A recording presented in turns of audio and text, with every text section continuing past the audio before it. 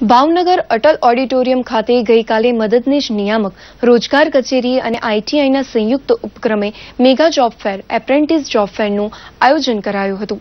રાજ્યકક્ષાના મંત્રી વિભાવરીબેન દવેની અધ્યક્ષતામાં યોજાયેલા આ કાર્યક્રમમાં યુવાનોને નોકરી આપવા માટે કુલ પાંત્રીસ જેટલી કંપનીઓ અને એપ્રેન્ટિસ માટે પંદર કંપનીઓ આવી હતી.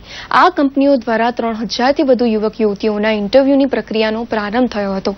આ પ્રસંગે સાંસદ ડોક્ટર ભારતીબેન શિયાળ કલેક્ટર અને ડીડીઓ ઉપસ્થિત રહ્યા હતા.